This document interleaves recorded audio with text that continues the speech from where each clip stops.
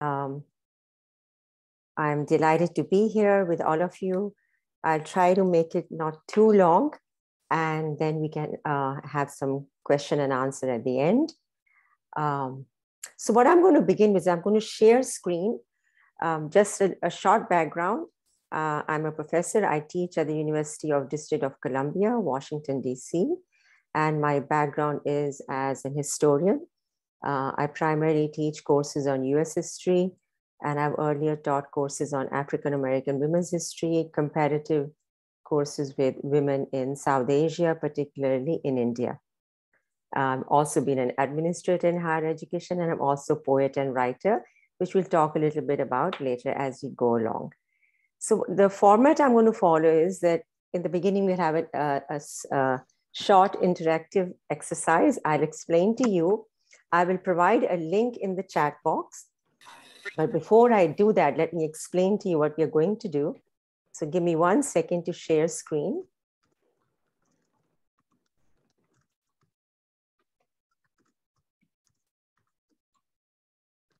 And I'm going to turn my video off because I keep getting that small image. So hopefully everyone can see this. What we are going to do today is, and I have two examples here. I want you to write, I, I what I want you to do is think of what, your, uh, what you uh, believe in or what you think your opinion is on the word gender. So the how you're going to do is you see this pink circle in the side. You can't do it right now because the link is not with you, but I'm going to share the link shortly. So you'll click on this pink circle and you can put your name if you wish. That's your wish, or you can leave your name out. You click on again on here at the at the end at this pink um, hexagon, and you will go to GIF and then put in what you feel gender means to you. Or you can associate a feeling that you have with the word gender. So, for example, I might say refugees, women refugees. And once you click, you might get some images and picture, and then it's up to you to select an image um, that you think best explains what you are feeling. If you don't find the image, then you go and find another image. So for example, let us say, um, um, let's just say refugees. So I may select this image. Once you select an image, it will show up in that box. It should have, oh here, sorry. Uh, there, it is going to show up. So just wait for a few seconds for it to populate on that screen. Once it does that, you press the button publish and it will come on on this screen. So you just want to see what others are feeling, you can leave it anonymous, but let me give you the link to that. Um, one minute. So here you go. I'm going to go back to, um, I'm going to uh, stop sharing for a second. So you will see the link in your chat box. Just click on the link. It will take you to that Padlet. Padlet. So I hope you can see this uh, link in the chat box. Just click on the link and we are going to go back to sharing screen so that we can all see it in real time. So give me one second.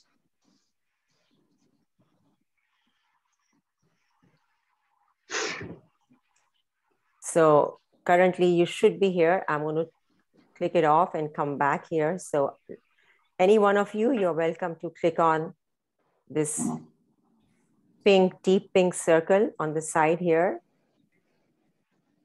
write your name if you wish. If not, go to the hexagon here, click on GIF, if you're feeling um, hopeful, for example, about the way gender is across the world, you can put hope and click on that. So you can put an emotion or you can put, uh, find an image that best symbolizes what you believe gender means. So click on that image, it will populate and then you publish. So I'm just going to keep quiet for a few minutes and let folks um, pull up the images or words they best feel right now.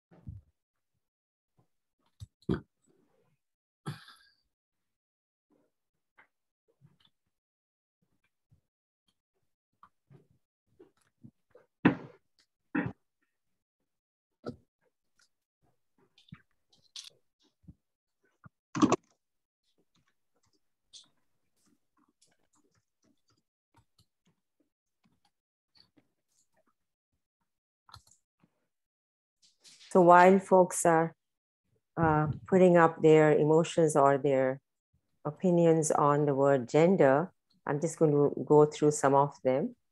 We have a scale here. So tipping, because gender is can mean various things, women, men, LGBTQIA. So it could mean a number of uh, definitions it could have. So you see the scales here. Um, there's a box a gentleman is holding a box, not sure maybe what the box contains, things like beauty and gender. Yes, girl power I see here. I'm just misunderstood. Belonging, being, becoming, exercising. Our diversity is our power. Gender affirming care is life saving care. We are only human hope is necessary.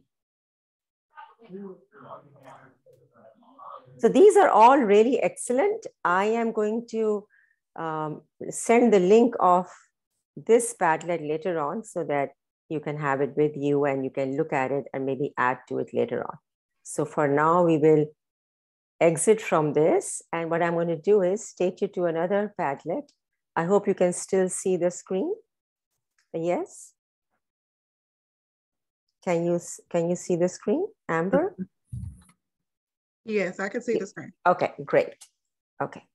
So I'm just going to go, you know, do a little a short background on what um, gender could imply, can imply, uh, talk about issues of uh, concern globally in terms of gender, particularly with a focus on women. So let's begin with the world population. The current world population is over 7.9 billion. And uh, currently, out of which 50.4 are men and 49.6 women. And here I wanted to start with terminologies because the words we employ are critical for our understanding of anything in life. So I just wanted to use and uh, wanted to uh, share with you a couple of words that could have various meanings or may have been misunderstood or have changed over time. So gender primarily, the dictionary meaning of gender is it's a grammatical category, often designated as male, female, or neuter, and used in the classification of nouns, pronouns, adjectives, etc. And so women's right That's definitely something we're going to focus on. Women's rights are human rights. So that's something that has been in discussion even academically uh, for many decades, particularly since the 1970s, because 1970s was a time when you had this growth of uh, new history. You had a lot of historians writing on uh, previously or, or, still marginalized indi- uh, individuals and categories across the globe. So whether they were women, Native Americans, African Americans, a lot of new history came out in the 19 late 1960s and 70s with a focus on that women's rights are actually human rights. And all these words that I'm I have listed here are only a selection. There could be any number of other words. And I would encourage you to create your own list. And I would also encourage you that when you create your own list, keep the different layers that can be associated with each. So remember race, ethnicity, religion, country of origin, language, and culture. So let me click on this for a second. This is just a diagram which is part of a, a terminology that I had developed a, a few years ago. It's called DIAL, which is diversity and inclusion applied in layers. So when someone asks me how I would identify myself, I can't just say one thing because we all have so many different layers. So I would probably end up saying human, woman, Hindu, from India, now US citizen, single mom, professional, professor, writer. So there are different terminologies that I would employ to describe or identify myself with. And this is a, a, a representation of British mathematician John Venn's diagram, uh, but it's been changed to show that you can have different circles of different sizes depending on what you find most critical in explaining or defining yourself. So whenever we are understanding any of these terminologies, uh, we have to remember these different layers as well. So it's not just when I'm talking about women, it's impossible to talk about all women. So I, uh, we have to keep in mind that you know we have to further uh, diversify the way we look at uh, human rights and women rights across the world. Then terminologies like gender studies, women's studies. So in the 1970s, when uh, there was a growth of new history, a lot of universities came up with women's studies departments. And only later on, it changed to gender studies to make it wider and more inclusive and not just focus on women's issues, but men as well and LGBTQI um, feminism, womanism. So there's a slight difference between the two. Uh, primarily, feminism is employed, uh, was employed, and, and not so much as, as of now, but was employed in the 20th century to um, uh, focus on, on, upon or identify white women's movements, whereas women of color, African American women, tended to call themselves uh, they were womanists rather than being feminists because African American women were focusing more on race reform. And that focus is still there because complete change has not occurred. Similarly, for example, I am from India, to give you the example of India. In India, caste system is very acutely entrenched in society. And even though caste system like slavery in the United States, caste system was also abolished in India in 1950 after the British left India in 1947. But still, in day to day life, in small villages, in towns, even in urban areas, the, uh, the uh, divisions that different castes uh, can have with each other uh, definitely permeates in the society. So Indian women, South Asian women, and women in India also tended to focus on uh, being known as womanists pre-independence because they were focusing on national freedom. So to understand those differences, um, particularly when you're focus, focusing on global issues for women, feminism and womanism, women of color uh, have tended to uh, call themselves more as womanists. Uh, not to say that they are not very strong feminist uh, Black women writers, for example, Bell Hooks, uh, but just to understand historically the distinction between the two. So, women's empowerment. Uh, women's empowerment, of course, we understand, you know, at the grassroots level, at state, national, and global levels. And I wanted to give you one example again, because this, the focus of this uh, webinar today is global understanding of, particularly of women's issues. And I fall, uh, fall back on Indian uh, example a lot because I am from India.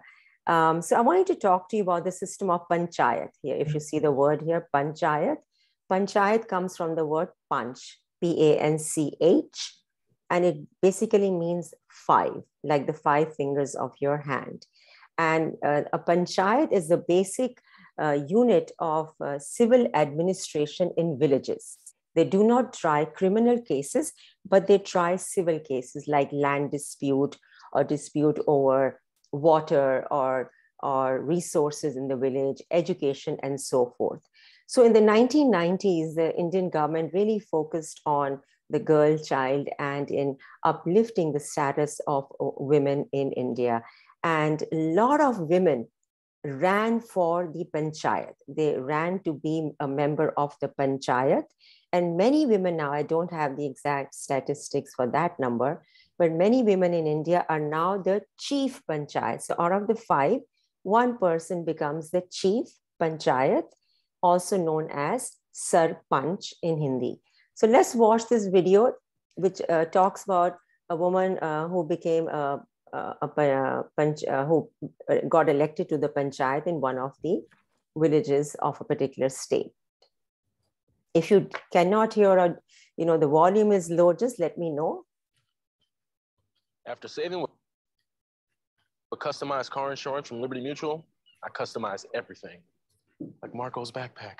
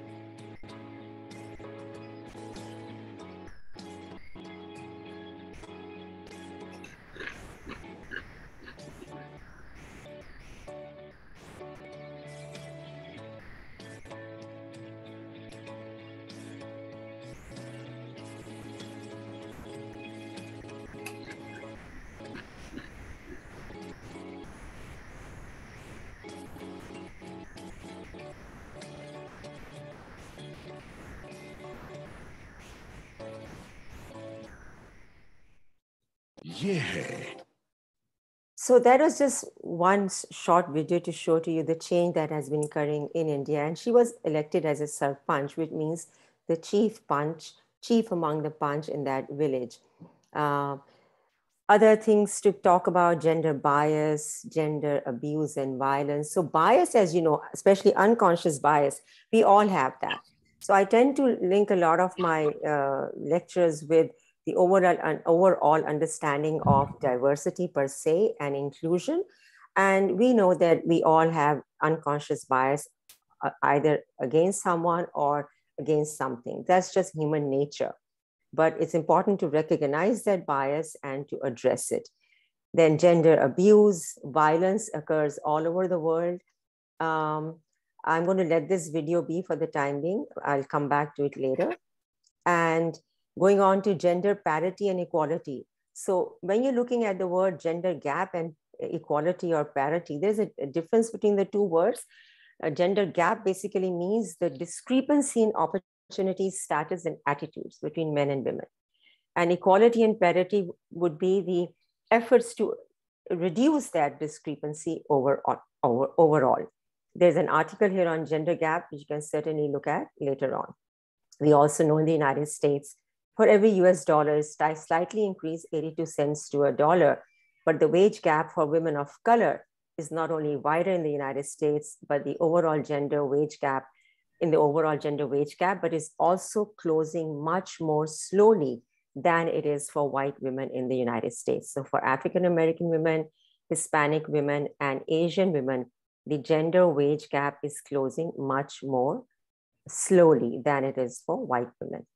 Then, of course, understanding terminologies, LGBTQIA. Um, I just wanted to talk a little bit about here about the Equality Act, which was passed by the United States House of Representatives in 2019, primarily meant to prohibit discrimination on the basis of sex, sexual orientation, gender identity, pregnancy, childbirth, etc. Again, there's a video here couple of videos I'm leaving out now, but we can come back to that later. I just wanted to do the terminologies first. We'll come back to it, come back to those videos. And then mankind, you know, these kind of terminologies, mankind, human, humankind, women have for long been saying, saying, why use the terminology mankind? Why not humankind? And uh, as far as race is concerned, there is only one race in the world, that's the human race. Otherwise, race is an artificial construct and I just wanted to go back in history, uh, particularly for the United States, that in 1848, uh, uh, we had in the United States, there was the Seneca Falls Convention, in where women got together, women like Elizabeth Cady Stanton, Susan B. Anthony, they got together to write their own declaration, and they called it the Declaration of Sentiments. And primarily, what they spoke about was that they, they, this, they evoked the Declaration of Independence. And they said that in the Declaration of Independence, it was written that all men are created equal. But they created their own declaration called it the Declaration of Sentiments, saying that all men and women are created equal. So that's just a slight history. You know, of course, in the United States, women got the right to vote with the 19th Amendment in 1920. We know that uh, um, after the Civil War ended with the 13th, 14th, and 15th Amendments, even though uh, uh slavery was abolished, African, uh, everyone was considered a citizen if born in the United States, but men got the right to vote, not women. And African American men also, the right to vote was not secured for them either. And the way that different women's historical movements developed in the United States white women's movements, black women's movements, they were very different. Interesting point to note because we're talking globally and being a um, you know student and practitioner of history, what was happening in 19th century in other parts of the world, Europe had was a little further ahead of the United States. The Industrial Revolution had already taken place in, in Europe. In India, in the mid 19th century, you similarly have women from different classes and castes struggling for uh, their rights. So a lot of parallels and similarities and differences we can notice when we try to analyze historically the way women's rights emerged across the world. Even words like chairman and chairwoman and chairperson. So nowadays, chairperson is used rather than chairman and chairwoman. Mrs. versus Ms. To just to give an example, uh, before I moved to the United States permanently, I was a professor in a college uh, connected to the University of Delhi in the capital of India, in New Delhi. And we actually, we women in the college, we led a campaign, signature campaign, saying that why, when we are, when, uh, when men cannot be identified their marital status, why do you write Mrs. and then within brackets, doctor if someone had a PhD or not? Why do you write Mrs. Dr. So and so? Either use the terminology Ms. or just leave it Dr. So and so. And we, we, we won that round uh, in the college at that time. And I'm talking about the early 1990s.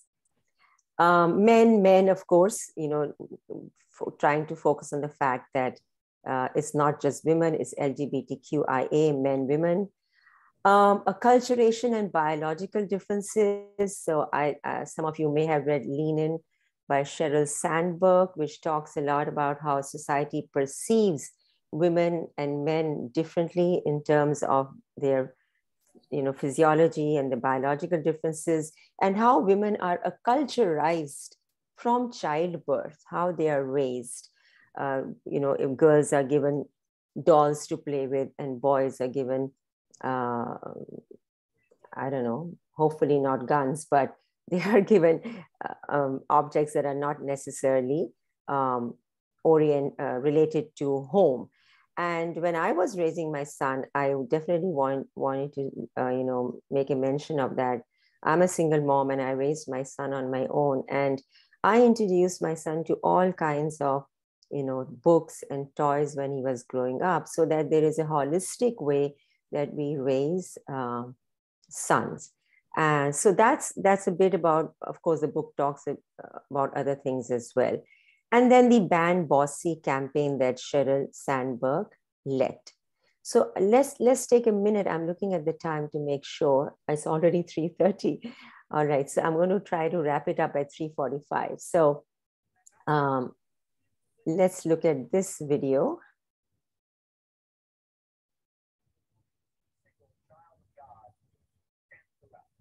Facebook's Sheryl Sandberg changed the conversation about women in the workplace with her best selling book, Lean In, which came out exactly a year ago. And now she's launching a new public service campaign to ban the word bossy. Why? Because she says it's a big part of the reason so few women make it to leadership positions. And there is some research that backs her up. We sat down at Facebook headquarters in Menlo Park to talk about the other B word. When I was growing up, I was called bossy. Sheryl Sandberg, Facebook's COO and newly minted billionaire, has launched a campaign today to ban a surprisingly powerful word bossy, bossy, bossy, bossy. And she's pulled together a group of celebrity friends to help her pull it off. Ban bossy. This is the other B word.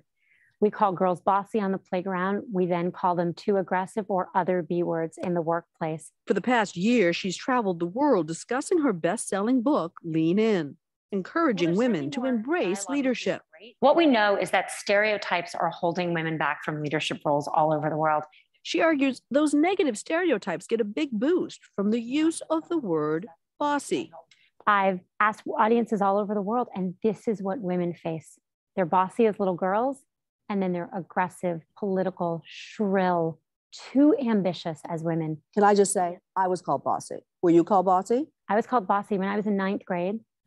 My teacher took my best friend, Mindy, aside and she said, You shouldn't be friends with Sheryl. She's bossy.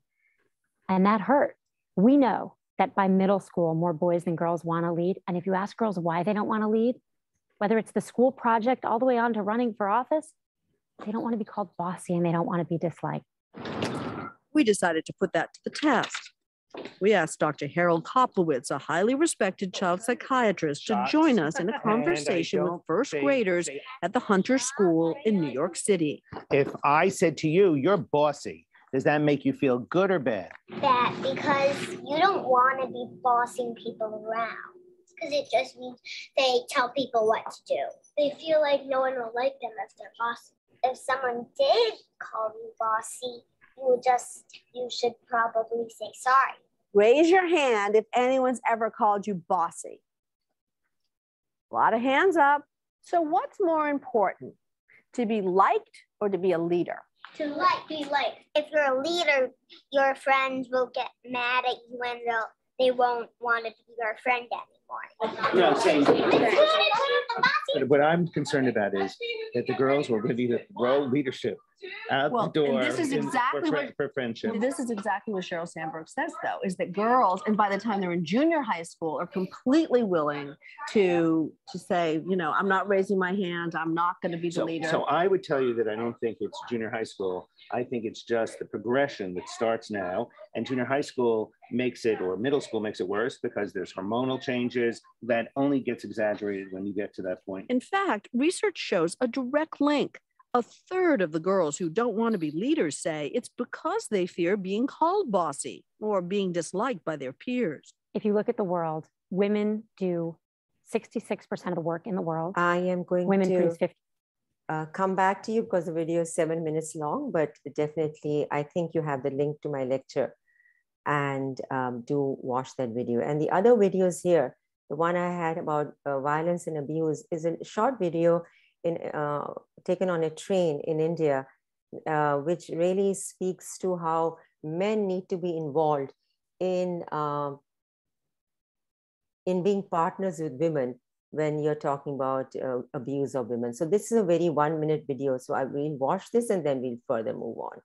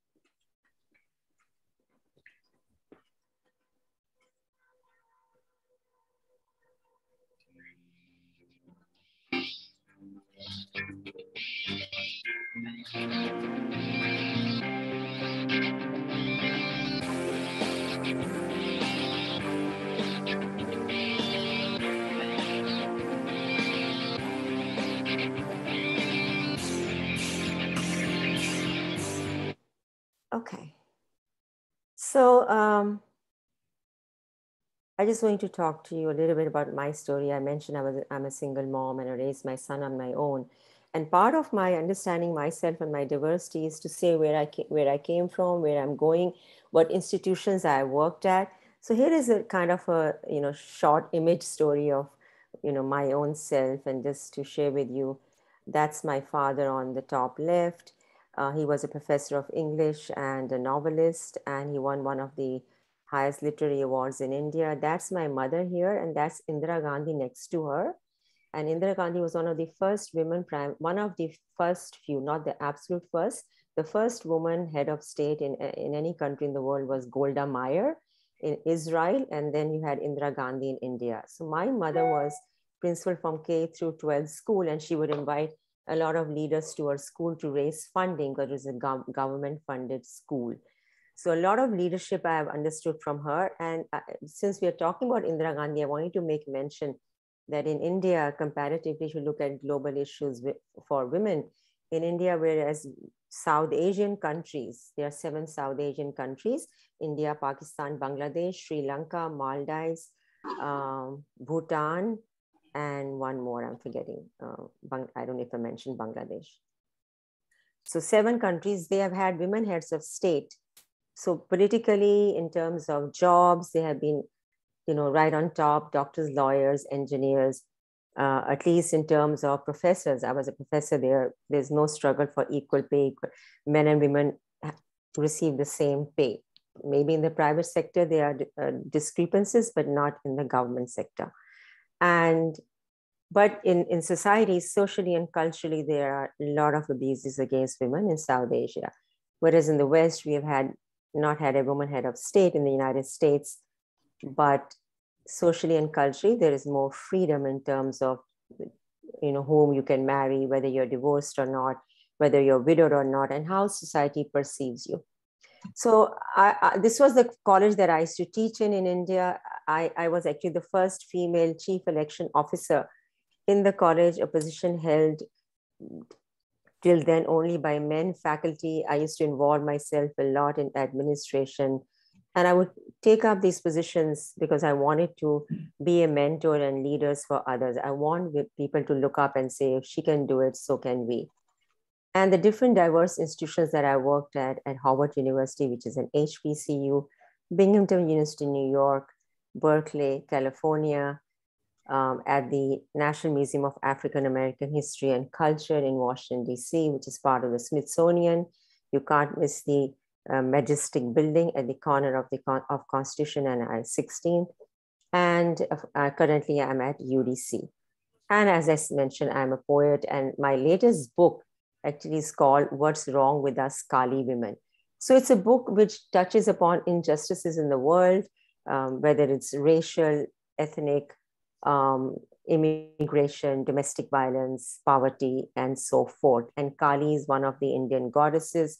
So I've also, who was very dark skinned. So I've also spoken in this book about, um, you know, women, uh, skin color and how skin color is used to divide people around the world.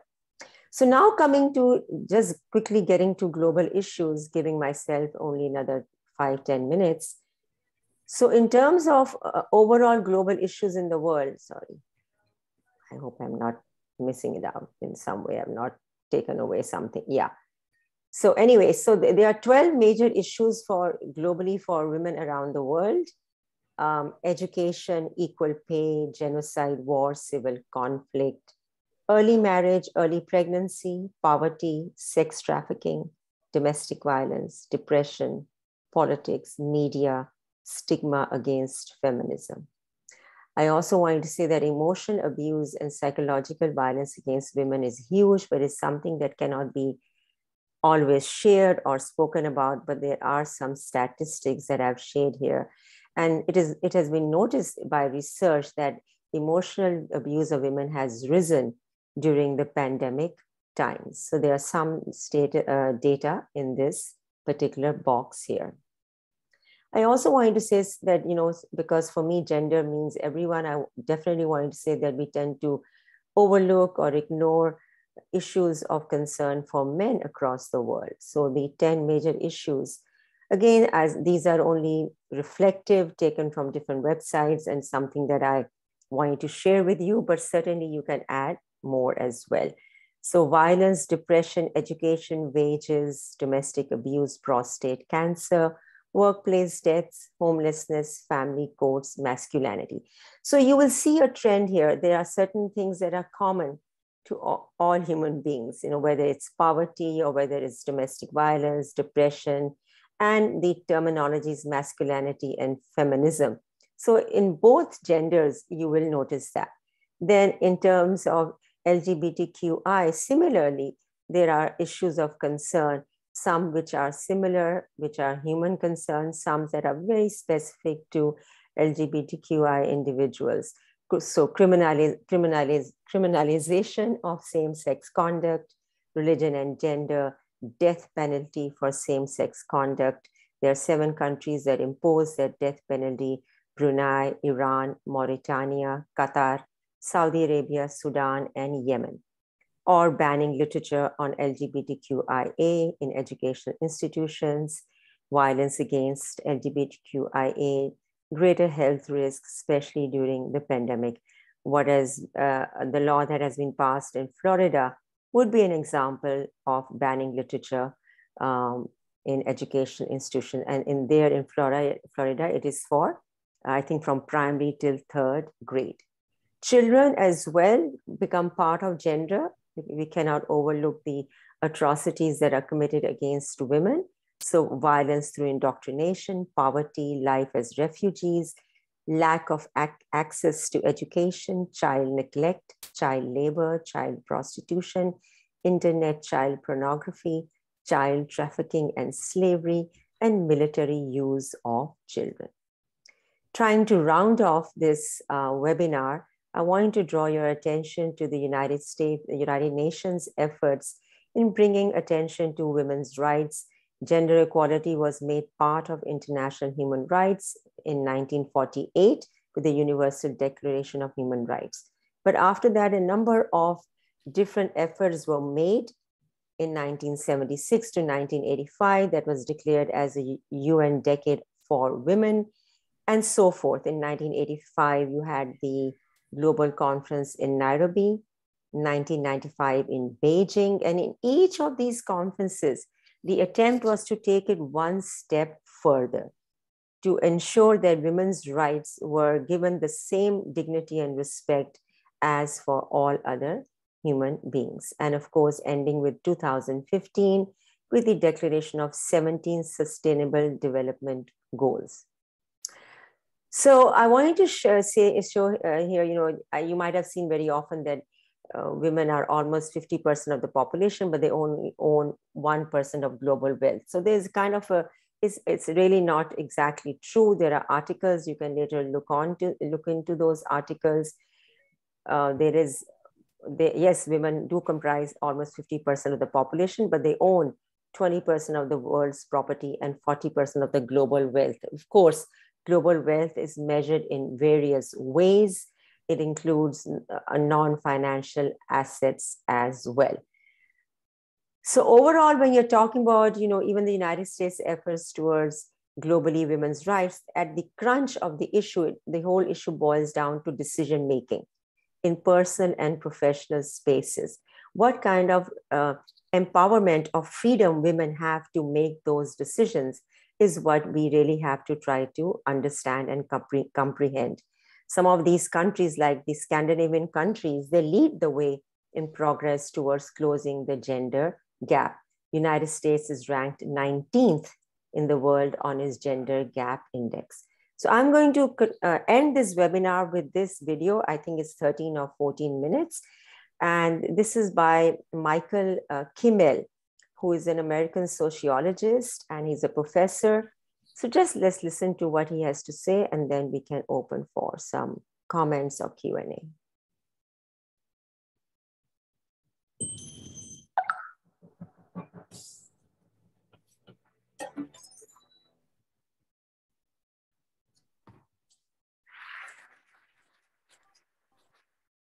I'm here to recruit men to support gender equality. Wait, wait, what? What does what do men have to do with gender equality? Gender equality is about women, right? I mean, the word women, the word gender is about women.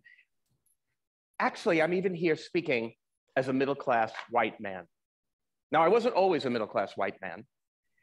It all happened for me about 30 years ago when I was in graduate school. And a bunch of us graduate students got together one day and we said, you know, there's an explosion of writing and thinking in feminist theory, but there's no courses yet. So we did what graduate students typically do in a situation like that. We said, okay, let's have a study group.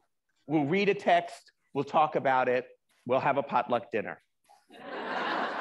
so every week, 11 women and me got together.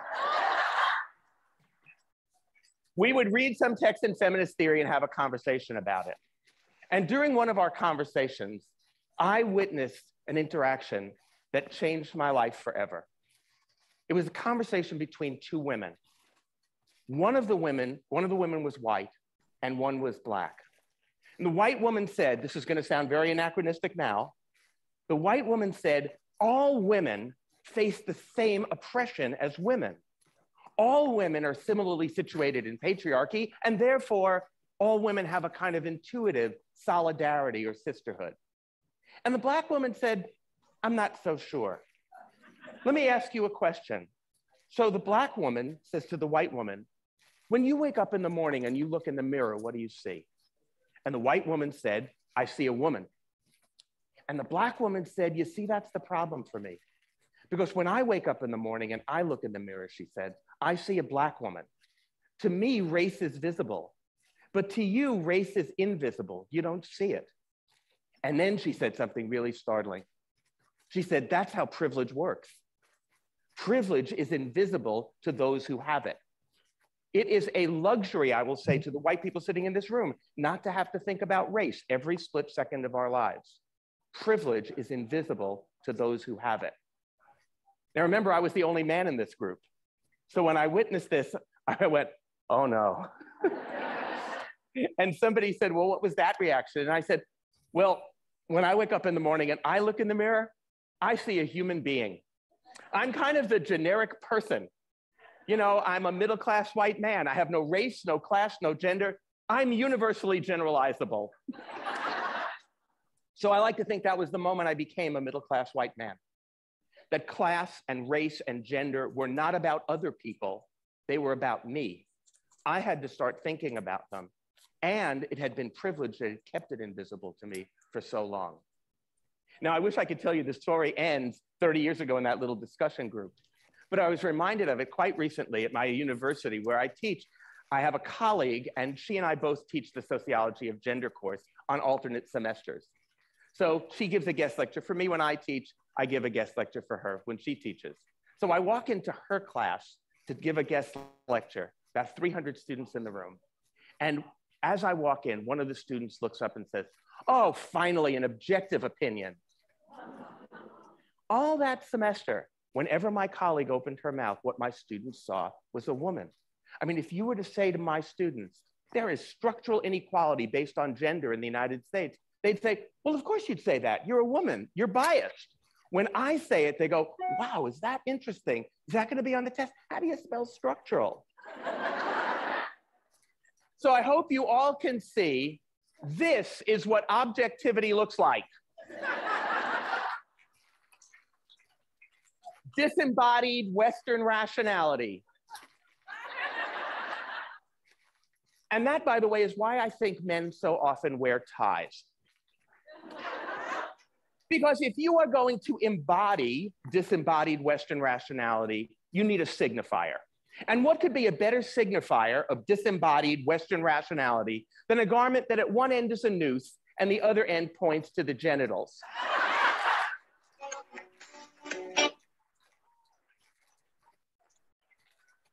that is mind body dualism right there. So, making gender visible to men is the first step to engaging men to support gender equality. Now, when men first hear about gender equality, when they first start thinking about it, they often think, many, many men think, well, that's right, that's fair, that's just, that's the ethical imperative. But not all men. Some men think the lightning bolt goes off and they go, oh my God, yes, gender equality. And they will immediately begin to mansplain to you your oppression. Uh, they, they, see supporting gender equality something akin to the cavalry. Like, thanks very much for bringing this to our attention, ladies. We'll take it from here. this results in a syndrome that I like to call premature self congratulation. There's another group, though, that actively resists gender equality, that sees gender equality as something that is detrimental to men.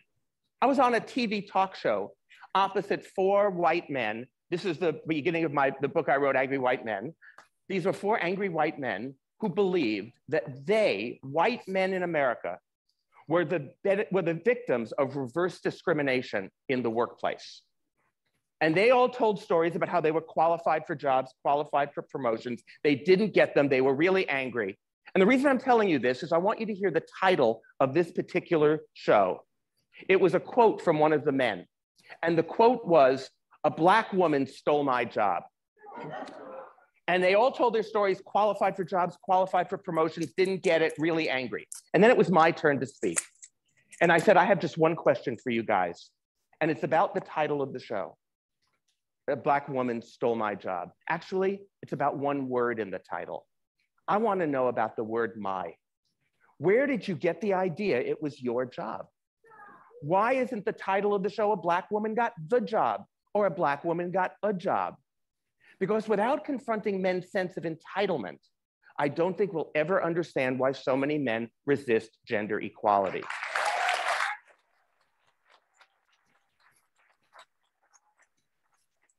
Look, we think this is a level playing field. So any policy that tilts it even a little bit, we think, oh my God, water's rushing uphill. It's reverse discrimination against us. So let me be very clear. White men in Europe and the United States are the beneficiaries of the single greatest affirmative action program in the history of the world. It is called the history of the world.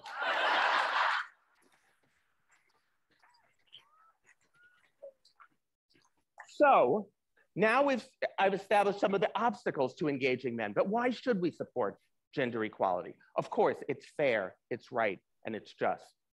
But more than that, gender equality is also in our interest as men. If you listen to what men say about what they want in their lives, gender equality is actually a way for us to get the lives we want to live gender equality is good for countries. It turns out, according to most studies, it turns out that those countries that are the most gender equal are also the countries that score highest on the happiness scale. And that's not just because they're all in Europe. Even within Europe, those countries that are more gender equal also have the highest levels of happiness. It is also good for companies. Research by Catalyst and others has, has shown conclusively that the more gender equal companies are, the, the, better, uh, the, the better it is for workers, the happier their labor force is. They have lower job turnover. They have lower levels of attrition. They have an easier time re uh, recruiting. They have higher rates of retention, higher job satisfaction, higher rates of productivity. So the question that I'm often asked by in, in companies is, boy, this gender equality um, thing, that's um. really gonna be expensive, huh?